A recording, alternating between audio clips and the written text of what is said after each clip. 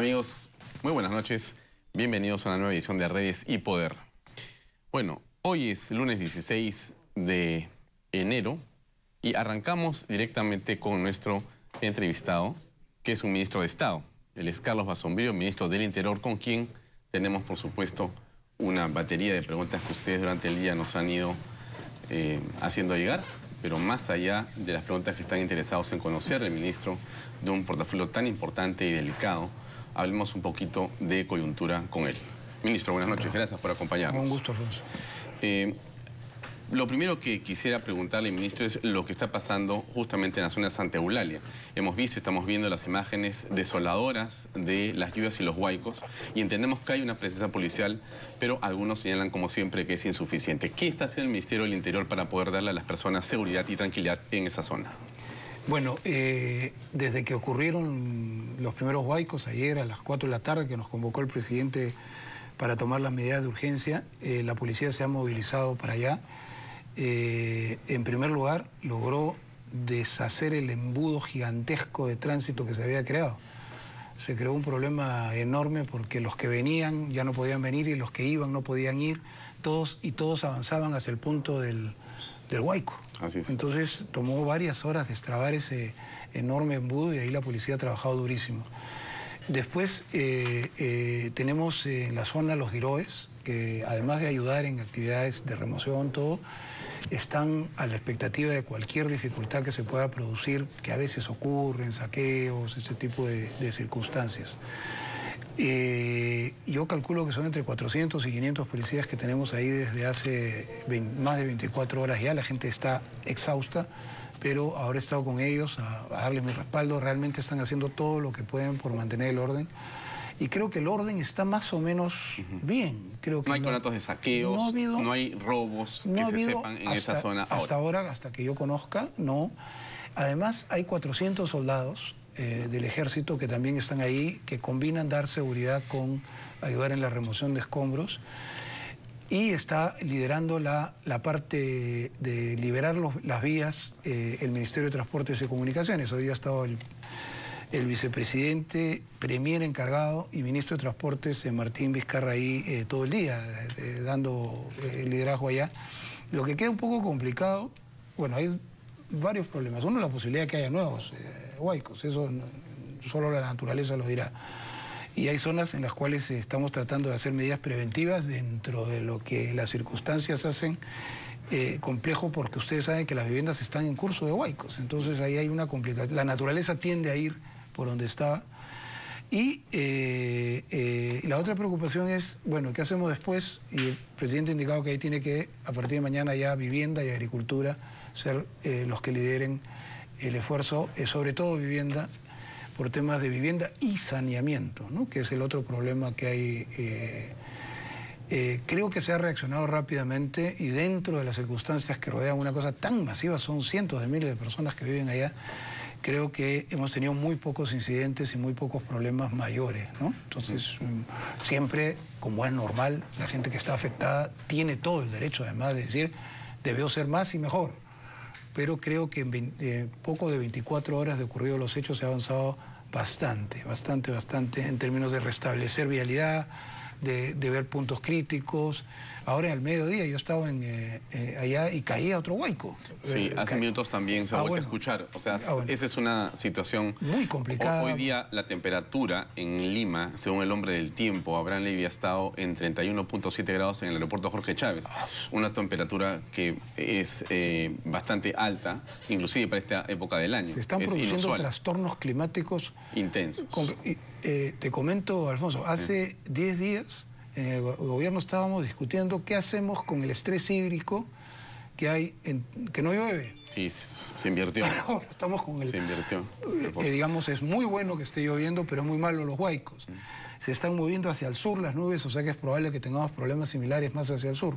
Entonces, es una situación compleja que tiene que ver con nuestra realidad como país, donde muchísima gente vive o trabaja en quebradas donde pasan los huaicos. Claro, y esa era un poco la reflexión que le pido, ministro, porque lamentablemente ocurre todos los años, en las últimas décadas hemos visto siempre escenas dantescas y de dolor, eh, pérdidas de vidas humanas lamentables, y no hay forma de poder, eh, no sé si convencer a los ciudadanos, pero que los gobiernos, ya no hablemos solamente de este, los anteriores, logren señalar el peligro inminente que tienen construyendo las casas exactamente donde baja el, el, huaico. El ministro de Transportes tiene toda una estructura pensada para aminorar un poco esos efectos, pero el problema medular es el que usted plantea. Mm.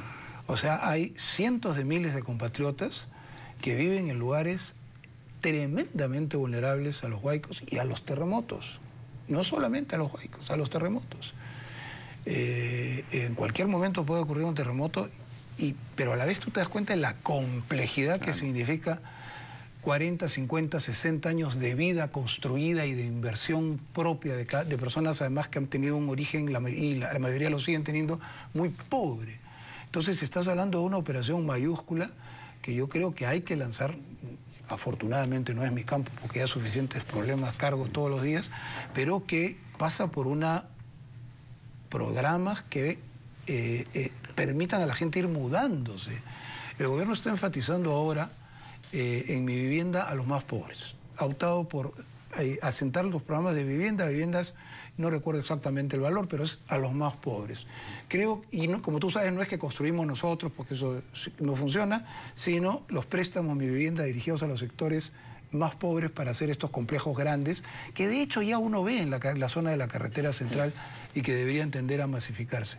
Pero reconozco que es un problema que escapa a una solución inmediata no es que las personas que vivan ahí sean unos irresponsables que quieren quedarse a sufrir, sino que no tienen tampoco muchas alternativas para escoger. Mm. Eso también hay que ser justos en, decirlo, ¿no? En reconocerlo.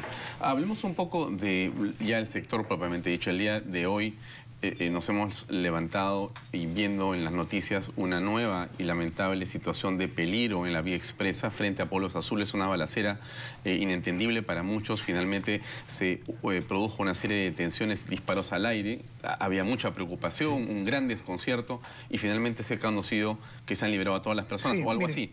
¿Qué pasó? A ver, lo, la información que yo tengo es, primero que la policía está haciendo por indicación expresa, extremadamente celosa eh, eh, en la protección de las calles. El Sanjón es un sitio muy, muy delicado.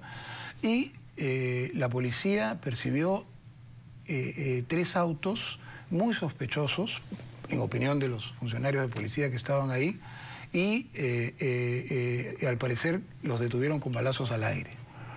Resultó ser que eran personas que podían parecer muy sospechosos porque no tenían mayor responsabilidad. Creo que ha sido un exceso de celo de la policía. Pido disculpas a la, población eh, por el mal momento que hubieran pasado estando ahí.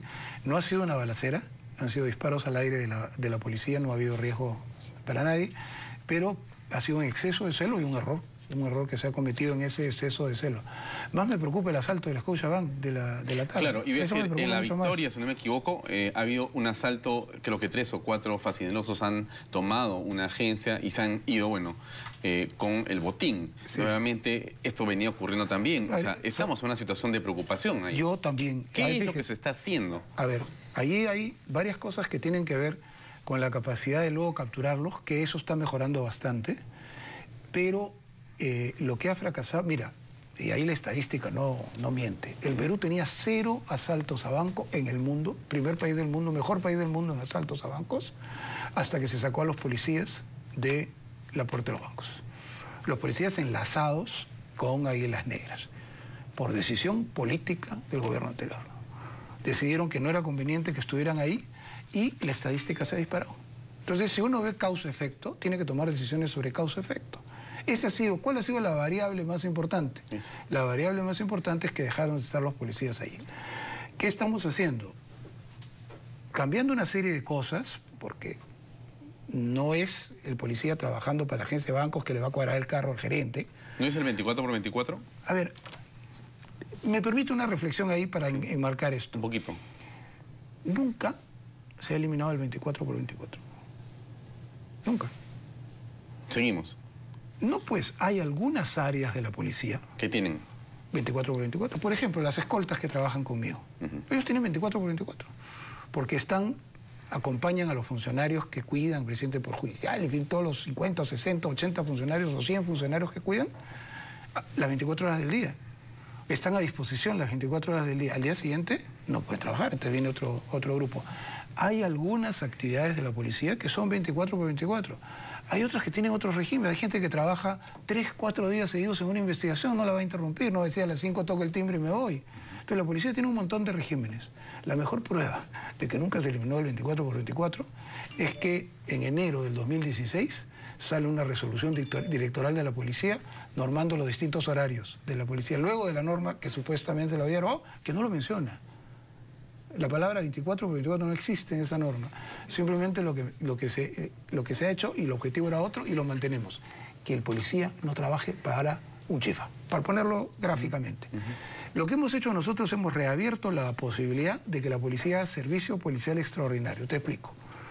Nosotros no podemos garantizarle, porque no alcanzan los policías, no alcanzan los policías para un servicio eh, policial ordinario, para poner en las no sé cuántas agencias que hay en Lima.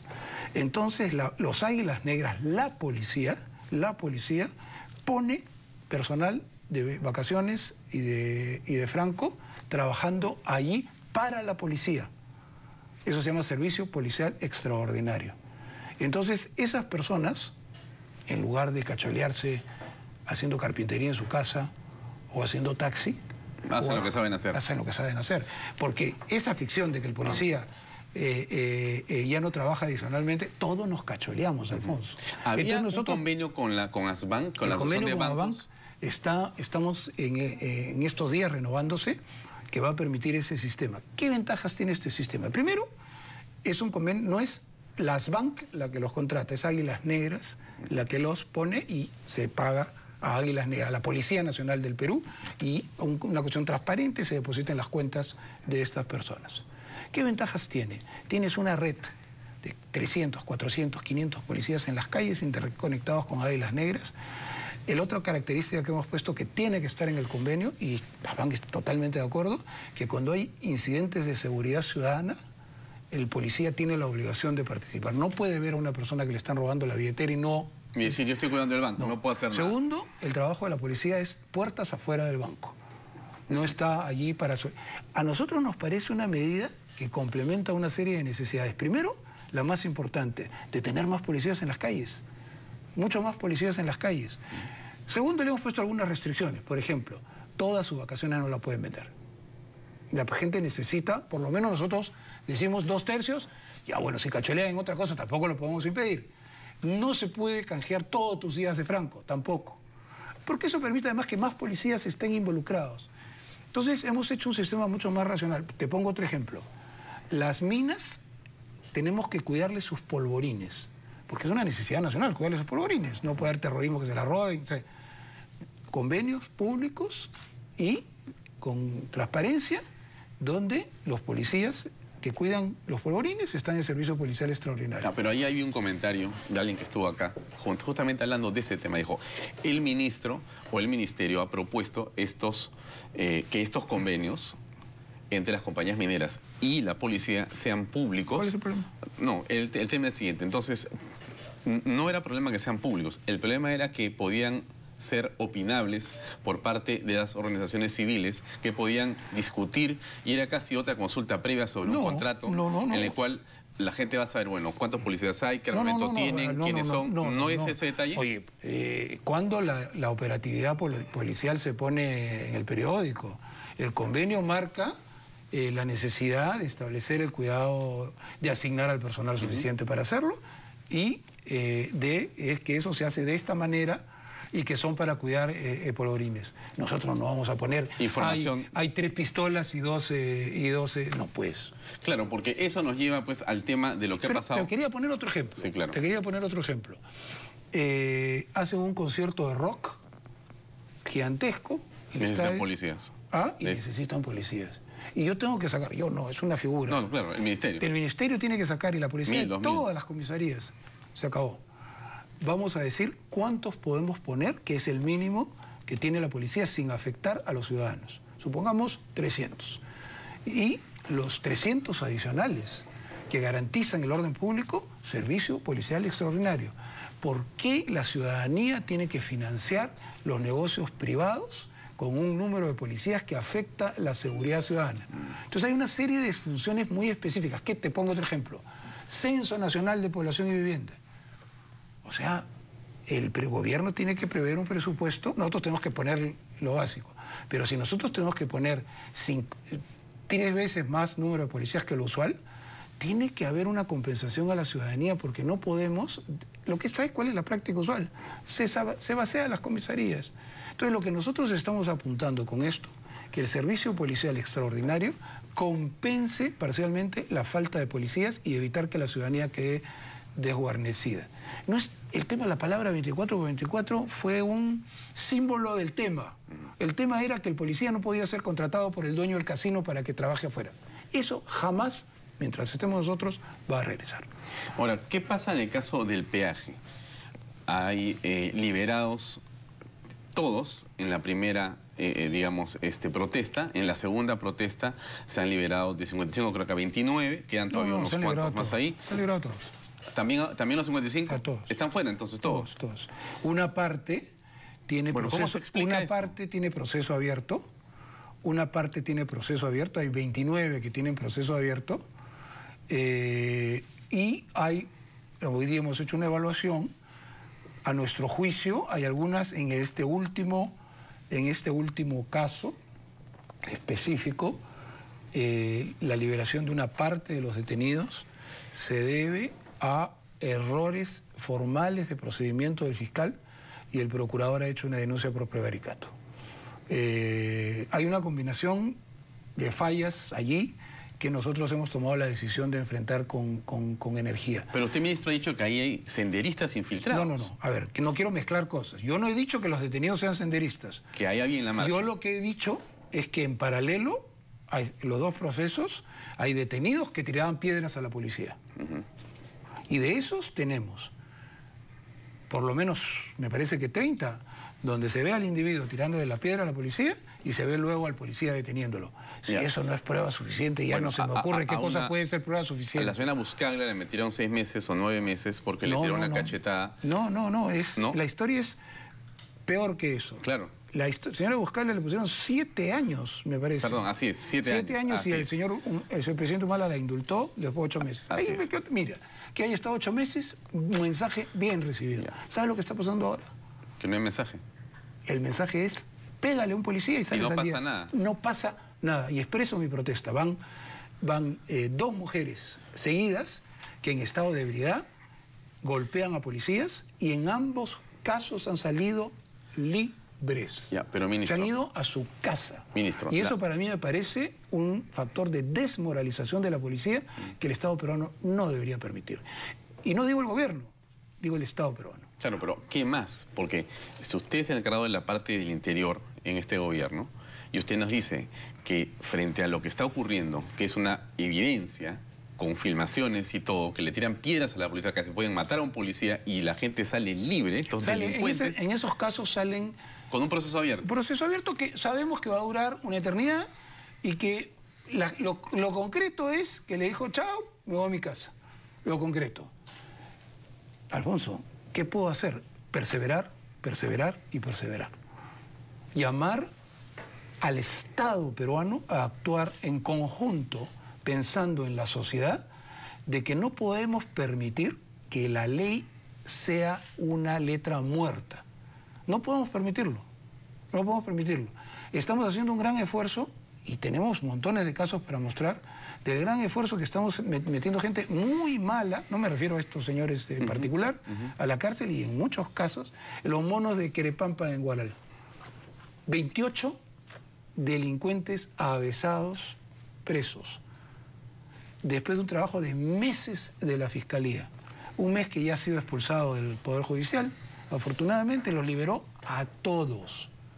Luego vino la segunda instancia y la segunda instancia del Poder Judicial dijo, ¿están locos? Todos adentro.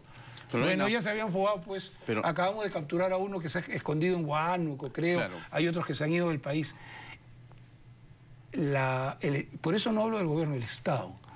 Tenemos que tener un compromiso mayor con la firmeza en el respeto a la ley y tener una actitud mucho más, eh, no sé cómo llamarlo, mucho más severa en la exigencia de respeto a la ley, porque nos estamos corriendo el riesgo de volvernos una sociedad sin ley, que no estamos muy lejos de eso. Entonces, yo no me canso de decirlo, tenemos que actuar en la, la misma línea. Ojo, no estoy diciendo que en mi sector no hay problemas, ¿ah? Somos muy conscientes de los problemas que hay, pero los estamos tratando de cambiar. Estamos tratando de cambiar. La policía está en un esfuerzo enorme de cambiar, de hacer la nueva policía del Bicentenario, de luchar contra sus errores, contra sus problemas. Pero ayúdennos también, ayúdennos también. Ese día en, eh, el peaje hubo 2.000 policías. 2.000 policías. ¿Se dan cuenta de lo que significa la movilización de 2.000 policías para, en perjuicio de la ciudadanía? Porque finalmente esos 2.000 policías tenían que salir de algún lado. No es que están esperando guardaditos en un closet para, salir a ocuparse de los vándalos que, hacen estas cosas. Dos mil policías. Claro, pero ¿quién defiende a los buenos policías que están tratando de poner e impartir el orden por orden del Estado? O sea, ¿y quién los defiende? O sea, ¿dónde está, no sé, el ministro indignado lo digo con toda franqueza, ministro. El ministro indignado con el presidente al lado en una conferencia de prensa denunciando esto, porque esto no debería ser algo que simplemente quede, digamos, como, bueno, pues ya, así somos de malos. pero yo... ¿Cómo hacemos? Discúlpame, pero mi, reclamo eh, enérgico sobre estos temas lo he hecho en decenas de oportunidades. Uh, déjame terminar la idea. Segundo lugar, el presidente, el premier, nos hemos reunido dos veces por lo menos específicamente por este tema específicamente tema con el presidente del Poder Judicial y el fiscal de la Nación. Sí estamos muy preocupados por eso. Sí estamos... En tercer lugar, el día de la presentación del acuerdo por la justicia, el presidente de la República, en presencia de todos los sectores de la justicia del Estado, llamó la atención sobre este problema porque se había producido, ya no me acuerdo si lo de eh, Huaycán, que ahora en segunda instancia han liberado a casi todos. Una de las sazonadas violentas más graves, el juez, la juez valiente de primera instancia, ordenó la prisión preventiva para todos. En segunda instancia han soltado a dos tercios. Ahora, ministro, ¿usted se siente animado porque mm, lo, que está comentando es un problema grave que no tiene que ver con la policía, es el Poder Judicial, la Fiscalía, o problemas también en la sociedad. creo, que lo que me da autoridad moral nos da, estoy hablando de la policía con nosotros en esto, nos da autoridad moral para exigir, es que nosotros nos estamos esforzando por cambiar. Te cuento. Ahora, usted ha dicho que si los números no lo acompañan, usted se va. Así ha dicho bien, digamos, franco. Alfonso, yo estoy haciendo un servicio público en esto, te lo digo con toda sinceridad. Yo estoy haciendo un servicio público. Yo no he venido acá para ser ministro porque no, no dan las cosas. Eh, eh, yo estoy convencido que los números van a dar. Hemos ofrecido bajar las cifras a cifras eh, particulares a la mitad de gobierno y he dicho que a final de año las cifras van a haber bajado en un montón de datos. Hay cosas que ya están bajando, pero todavía no quiero ni mencionarlas porque no van a decir, ay, este ministro que no se da cuenta de lo que pasa en las calles. No quiero por eso mencionar hay cosas que están cambiando. Quien le interese ver encuestas de victimización, la evolución, por ejemplo, de la victimización en el Perú, que entre al INEI, no lo voy a decir yo. Pero yo defiendo el derecho de los ciudadanos a estar fastidiados, exigentes y molestos. Yo personalmente lo único que quiero, la única razón por la que estoy acá es porque quiero cambiar las cosas para que funcionen. Sé que las cifras van a dar en diciembre, por eso me da la tranquilidad de decir eso. Quiero decirte otras cosas porque se nos va a pasar el tiempo y no quiero dejar de decirlo. Quiero agradecerte tu artículo. Bueno, Quiero agradecerlo, lo hice privadamente en su momento y tiene que ver con una de las preocupaciones que nos tocan fuertemente, que es la relación perversa de policía que se corrompe y de ciudadano que corrompe, que ocurre en la vida en las calles, que en todo el Perú, no necesito explicar más. El miércoles ¿Me, permite, ministro, contar a los ciudadanos ah, qué fue lo que pasó? Sí, porque si no, no, van a estar saber de qué se trata, ¿no? Lo que ocurre es que hace eh, dos semanas, amigos, yo salía de un restaurante en La Molina con un grupo de amigos y eh, pasamos por el óvalo de La Fontana en La Molina y fuimos detenidos a las once y media de la noche por una patrulla de la Policía Nacional que me pidió eh, los documentos que fueron entregados, tanto el vehículo como míos, y todo estaba en regla. Sin embargo, un efectivo policial eh, me pidió y me acercó eh, un aparato que parecía un detector de alcoholemia, me dijo que tenía que soplar sobre él. me sorprendió que lo pidiera, no sabía que eso ocurría de esa manera, entonces yo saqué mi celular y grabé el incidente diciendo que estaba con un policía que me había pedido esto y que iba a pedirle su identificación y que me explicara de qué se trataba esta situación. Escribí esto en una columna y lo publiqué en un diario local, en Expreso y en Posición.pe.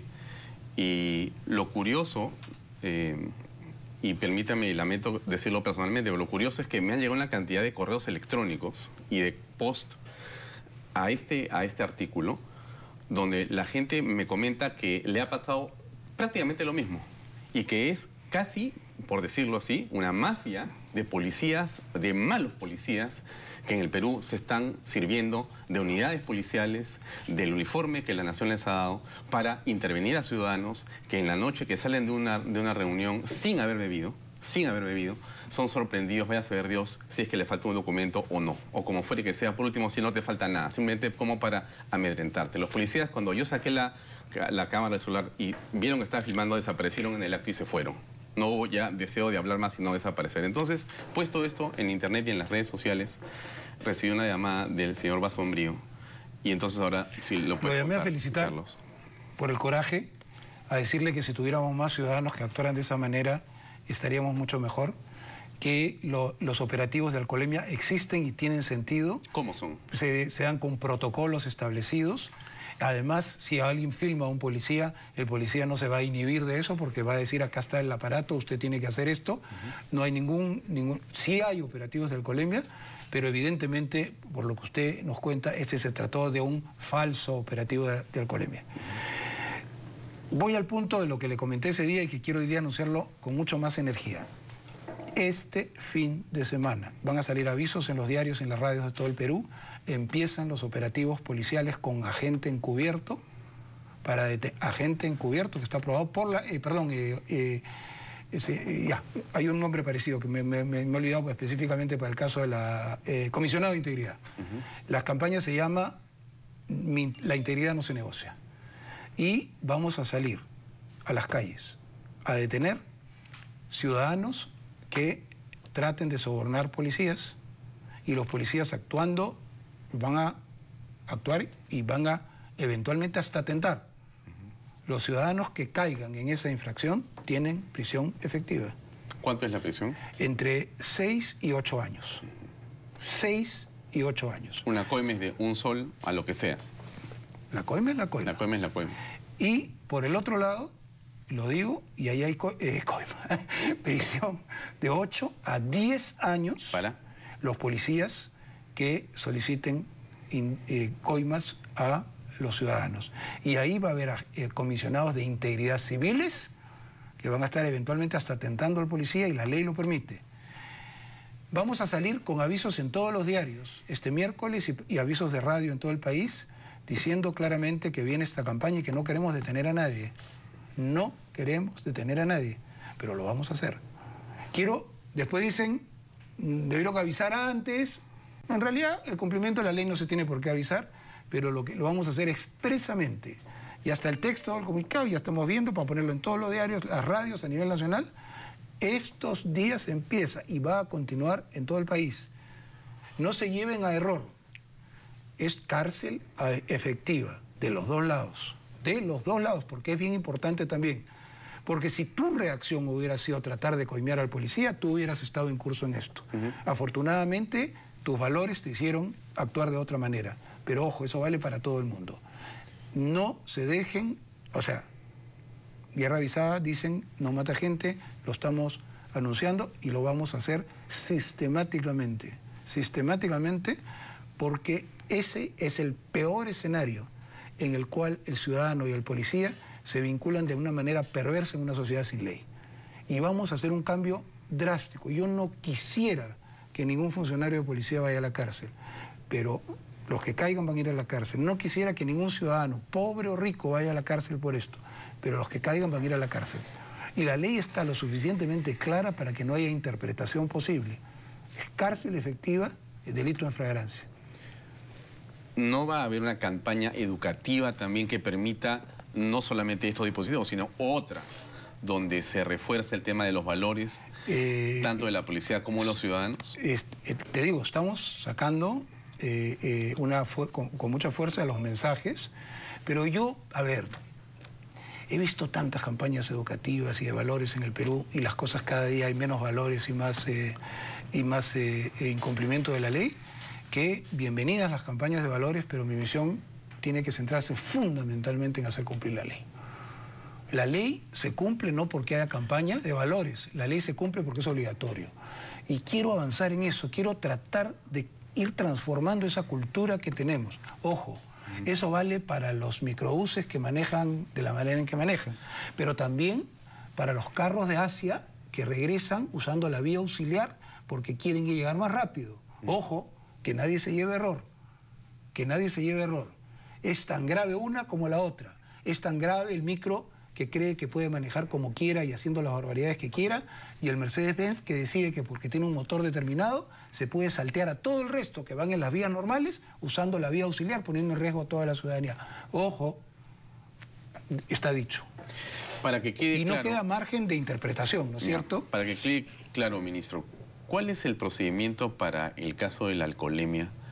¿Puede haber una unidad que por sí sola esté en una óvalo en una calle, de repente agazapada ahí aparece para sorprender a las personas? No, los operativos de alcoholemia son operativos estructurados y planificados que se colocan en lugares determinados de la hay un plan operativo, hay, un comandante o comisario, hay un grupo de unidades. Uno puede pedir ese plan operativo, puede plan operativo no sé si lo deben tener todos en el bolsillo. Pero algo tiene que existir. No, lo que existe es la, la esto señor, orden, algo. señor Bahía, estamos en un operativo de alcoholemio, pase usted por el operativo. Tú lo filmas y te dice, señor Bahía, este es el operativo. Acá está el resultado. y acá está el resultado. Usted tiene que irse a su casa porque no ha pasado nada, o usted tiene que irse a, la, comisaría, o a la prisión, o donde por esto. Ese es un plan. Eso. Lo otro es un engaño, ¿no es cierto? Claro, pero sí se pueden hacer los operativos. Además, no solo hay operativos del colegio, quiero advertir, estamos haciendo portadores de armas ilegales. Ojo, las armas ilegales también tienen prisión efectiva y hemos hecho una buena cantidad y hay varias gente que ya ha terminado adentro. Quien tenga un arma ilegal, ojo, ilegal no quiere decir licencia vencida, ilegal quiere decir ilegal. Y todos sabemos lo que es un arma ilegal. Eso es prisión efectiva, prisión efectiva. Eh, le pongo un caso para que vean lo útil que es. En un sitio de la ciudad, no quiero para que no revelar el caso en detalle, la policía detecta unos eh, tipos con, haciendo eh, que están prontuariados en el sentido no, no tan requisitoriados, pero sí prontuariados, y los tipos lanzan sus armas al suelo y se les detiene después. Estamos haciendo la validación de huellas digitales, etcétera, etcétera, y ese porte nos va a solucionar el problema, porque ya van adentro por ese tema. Entonces, vamos en serio, vamos en serio. ¿Queremos seguridad ciudadana? Colaboremos todos. Asumo todas mis responsabilidades, pero también tenemos que cambiar prácticas, cambiar hábitos y ser muy severos y exigentes de severidad en el cumplimiento de la ley. Yo no puedo asegurarles que no va a haber inseguridad ciudadana en el Perú en los próximos meses yo les puedo decir que sí van a ir bajando las cifras. Estoy convencido de eso, tenemos una muy buena estrategia que estamos poniendo en marcha y habrá ocasión cuando tú quieras para conversarla en todo el detalle que tú quieras. Pero sí les aseguro que las cosas que estoy diciendo se van a hacer y espero que los, ciudadanos que nos están viendo, que sé que son muchos por, tu programa, se den cuenta de que las cosas están empezando a cambiar y no terminen pagando pato, por decirlo en criollo. A ver, habemos un poquito sobre la coyuntura política, aprovechando que está acá el ministro de Interior, y hay muchos temas que conversar en torno a lo que está pasando en el país con estos escándalos de corrupción. Eh, Alejandro Toledo debería estar aquí dando la cara, como ha dicho alguien. A ver, yo creo... Ojo, tengo que ser cuidadoso en las fórmulas en que lo digo por mi cargo, no por lo que pienso. Creo que un expresidente de la República que está sufriendo tantos cuestionamientos como él lo está haciendo, que lidera mm, lideraba un partido político, ya no, no existe el partido político, eh, eh, y es un líder, una persona que ha gobernado el Perú, debería estar allí, acá. Eh. diciendo eso es lo que pienso. Ahora, lo que pienso del caso particular lo he escrito en varias columnas a lo largo, a lo largo de, los, de los años. Prefiero que si a alguno le interesa mi opinión más en detalle, está por, está por, escrito. Pero sí, yo creo que un expresidente del Perú no puede eh, dejar de dar la cara ante un problema de esta magnitud. Ahora, eh, no había ningún impedimento formal para que saliera, porque algunas personas me dicen, ¿cómo dejó usted salir? No, o sea, no, no, solo el juez decide. Solo el juez lo decide y nosotros obedecemos a lo que los jueces deciden. Bueno, pero si el fiscal y el juez al final dejan a todos los que le tiran piras a los policías... Alfonso, yo no puedo ir contra la ley en ninguna no, circunstancia. Nadie, ¿no? Es un comentario que hacemos, porque los ciudadanos queremos que la justicia funcione. En el caso, por ejemplo, del señor Ollanta Mal y su esposa, el eh, fiscal Germán Atocha ha señalado el día de hoy de que ella ha presentado poderes para que su esposo y la prima puedan viajar con sus hijos en la eventualidad que tengan que salir y no estén acompañados de sus padres. Esto constituye una suerte de tentativa o de sospecha y que existe una alta posibilidad que ambos fuguen, ha dicho el fiscal Germán Atoche. La verdad que tengo que ser cauteloso siempre por la función que hago, pero repito que lo que dijo por el expresidente Toledo vale por muy buenas razones y quizás más todavía en el caso del expresidente de Antumala porque lo que dice el fiscal transmite una actitud de no querer estar acá, ¿no?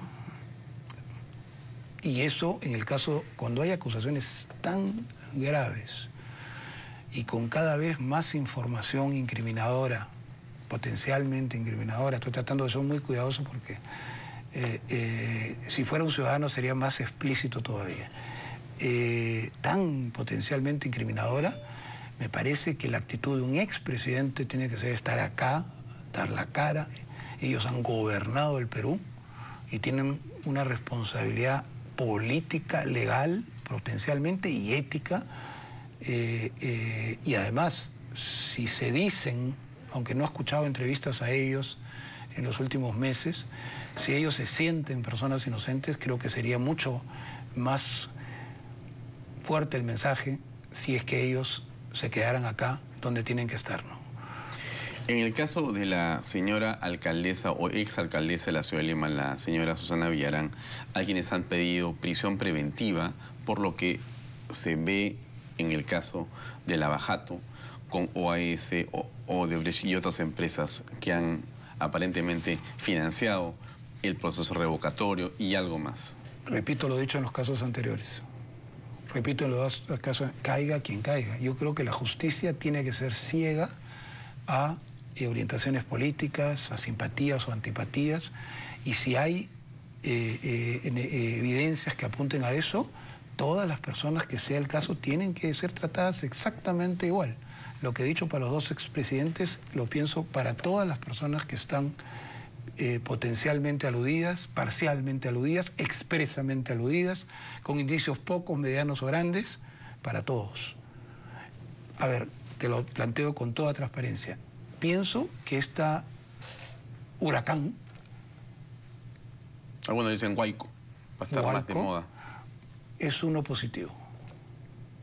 Porque una serie de circunstancias han permitido desentrañar que todo parece indicar que ha habido muchísima gente en tres gobiernos, y ya pueden llegar a eh, nacionales, en gobiernos municipales, gobiernos regionales, etcétera, etcétera, que optaron por una lógica de corromperse frente a las empresas brasileras.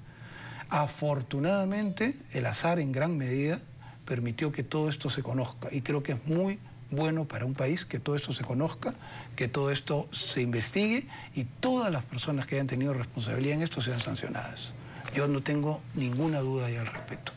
Ministro, sé que tiene que abandonar el programa, pero vamos a ir una breve pausa. abandonar el programa, hecho que tiene Vamos a ir una breve pausa comercial. Venimos para conversar unos minutos más y después lo liberamos de esta responsabilidad. encantado. Vamos a una pausa, amigos. Regresamos con más en Redes y por enseguida.